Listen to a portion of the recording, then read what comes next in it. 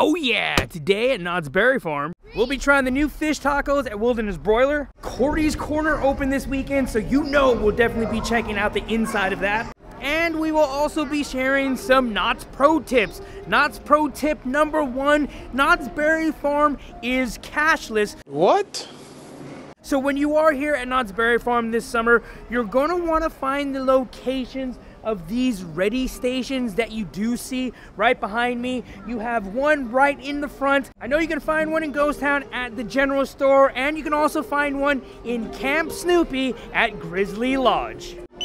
And Knott's pro tip number two, if you have a family, dude, you have to come here at Rope Drop, man, as soon as it opens, because you can get on practically all the rides. Like right now, we're gonna see how many rides we can get in on Camp Snoopy in the first hour. We have one hour. First one, Woodstock Airmail.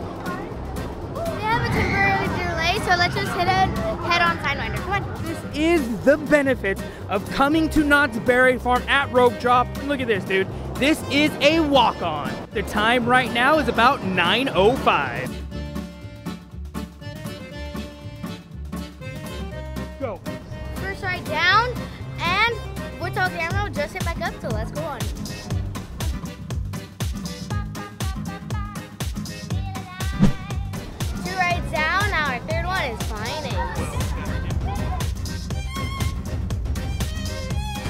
It's around 9.30, and as you can see, man, there is still nobody here in Camp Snoopy. Now on our fourth ride, Finest Conjure.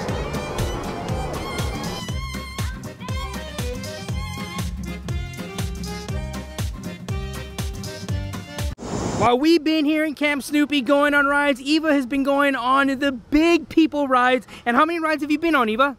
Three. And now onto the Camp Bus.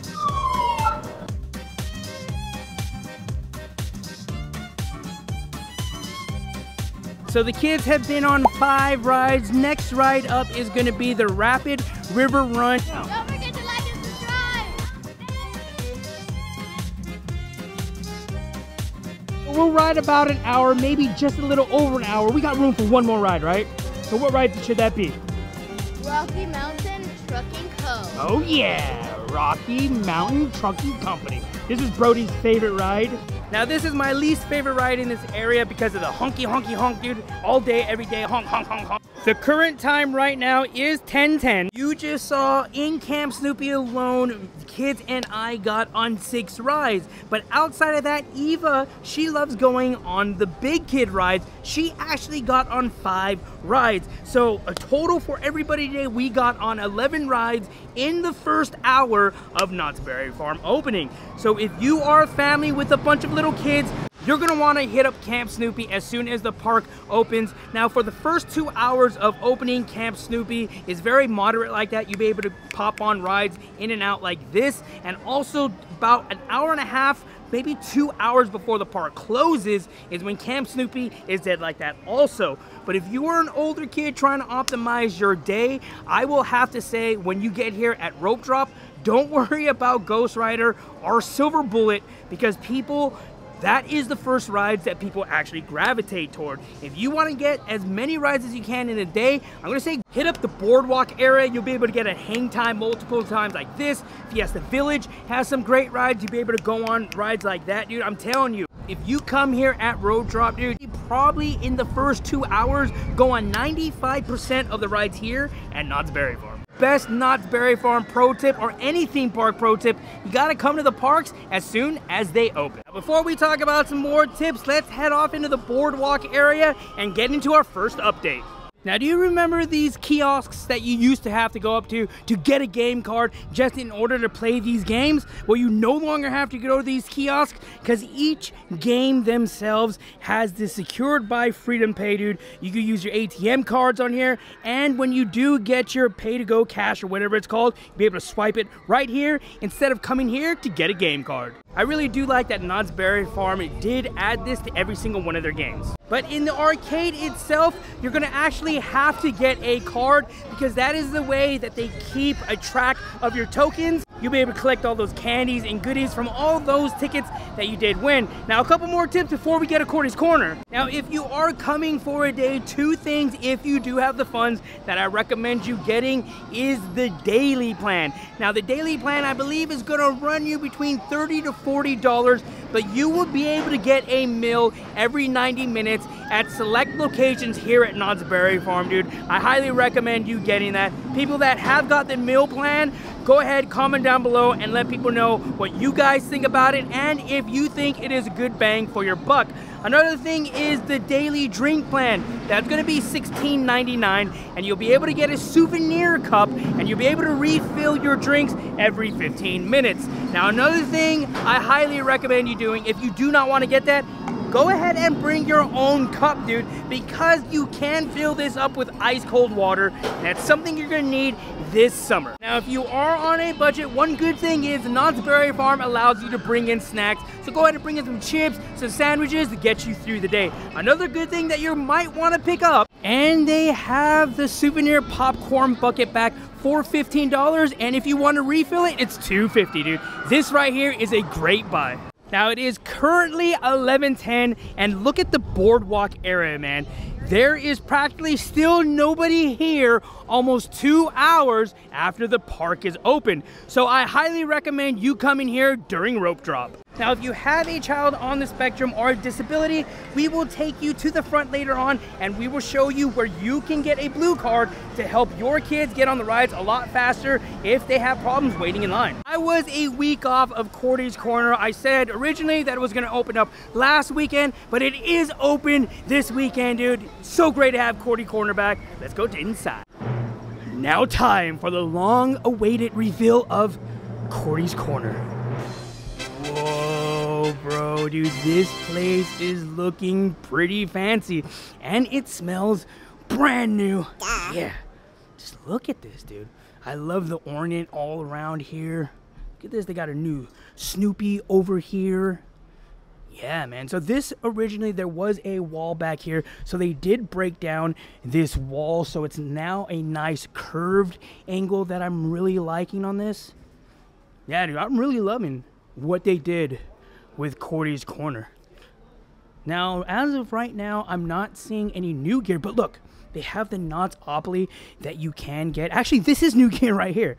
Look, they have a Knott's Opoly shirt that you can get for $24.99.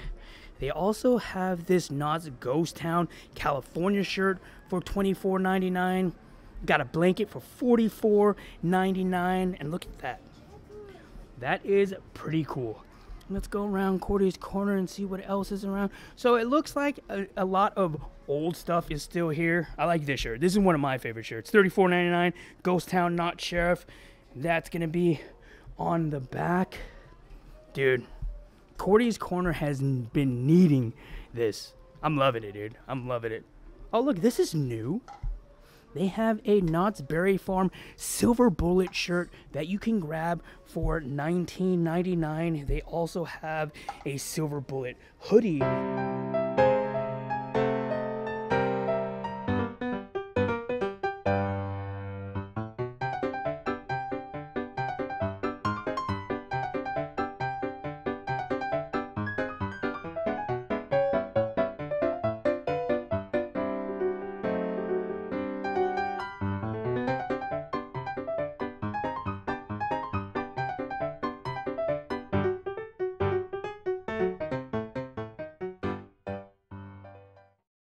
Dude, go ahead and comment down below and let me know what you guys think about the new look of Corner. The pizzeria looks like it's coming along pretty good. Oh man, look how far along the inside of the pizzeria is, dude. Yeah, for sure gonna be up in July. Now we're at the back end of Ghost Town for our last update. So we're here at Wilderness Broiler to try the new item here, and we're gonna try the fish tacos served with cilantro lime slaw and a cauliflower lime rice. So if you have a meal plan or a daily plan, you can get this item on it. If you're paying out of pocket, it's gonna cost you $14 and some change. But let's go ahead and dig deeper into this and check it out. So first off, you might think that this is regular rice. It is not. It is cauliflower rice. You do get two good portion sizes of fish tacos. Get a little bit of lemon right there and some salsa.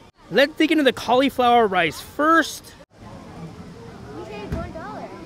Surprisingly, dude, the cauliflower rice wasn't that bad. You do get the taste of the cauliflower itself, but it does have a consistency of rice. You get a hint of lime flavor in it. I really dig this. I think I'm gonna go ahead and give the cauliflower rice a 5 out of 10. Now let's try the fish taco. Got some lemon right here, squeeze that on top. I will say this taco is pretty fat. Surprisingly, this fish taco is pretty decent. So the fish itself was cooked really good, dude. It had a nice crunch to it, and it is a fat piece of fish. The slaw itself had a nice little pickled flavor. The cotija cheese gave it a nice little bite to it. That dish was a very generous serving, dude. I really enjoyed the cauliflower, thought it was a healthy alternative. On this dish, I'm gonna go ahead and give this a 6 out of 10. I recommend you trying this, especially if you like fish tacos. Would I get this dish again? I would for sure get this dish again before it ends. These fish tacos would go great as a meal in summer nights. Dude, I would for sure use a tasting tab on this. Actually, last year they had a fish taco just like this and they had a Cajun shrimp taco, dude. They need to bring items like that back. The carnita taco this year was okay at summer nights, but you gotta get rid of that chorizo, dude. Throw in this fish taco. That's what I'm talking about.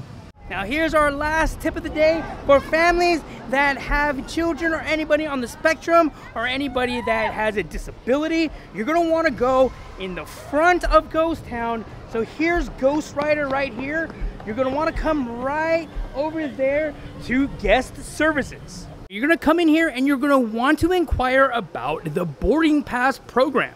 Now the boarding pass program is for people on the spectrum or disabilities and what you're to do when you go in there you're going to let them know that per se that my daughter is on the spectrum and she cannot wait in line. So after that they're going to ask her a couple of questions and then they're going to give you a purple card. Now the purple card they're going to put the person's name with the disability so this would be Eva and how many people are in that party. So there would be a party of four. Now everybody in that party will be getting a wristband. And in order to go on any of these rides right here, you have to have the wristband and the person's name that is on the purple sheet has to be there for you to be able to get on that ride. So this is a little tip for all the people out there that have family members or children on the spectrum or a disability. You're gonna wanna come here, Ghost Town, to guest services and ask them about the boarding pass program.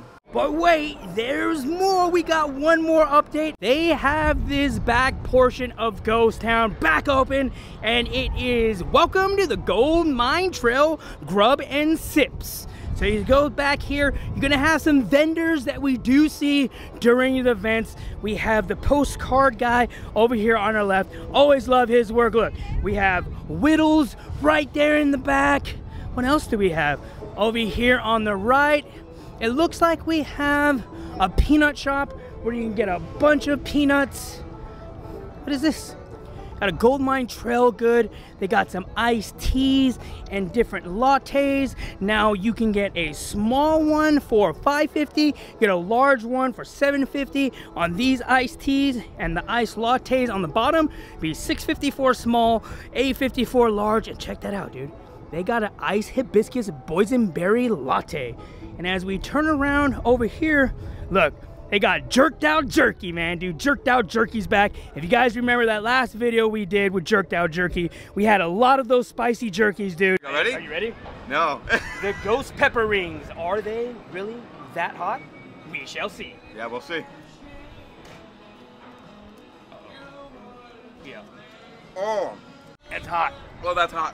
Ah, Oh, whoa. I, I can't even. I can't even think. Gotta definitely stop off there to try their stuff. They have really good jerky.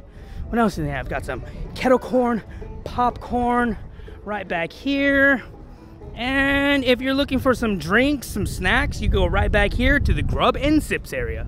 And if you want to get a look at the brand new maze that is taking over for Paranormal Inc., you can see right over here the construction is. And right down below here, right down there, if you go ahead and get on your hands and knees and look underneath, you'll be able to see. And there we go. So now we're on our hands and knees looking down, and you can see how far along the construction is that's going to be it for us today here at Knott's Berry Farm. Really appreciate every single one of you taking time out of your day, stopping by and watch this video. Hope you guys like the updates and the tips that we did give. Now, if you are a Knott's Berry Farm vet and you have some tips that I missed, go ahead and comment down below. Share the tips with everybody, man. Thank you for every single one of your guys' support, man. This channel is what it is today because of every single one of you. And if you haven't subscribed, go ahead, consider about going down below and subscribing, man, because we would love to have you on future adventures. Well, every single one of you have a great day, and we will catch you next video. Deuces! Deuces!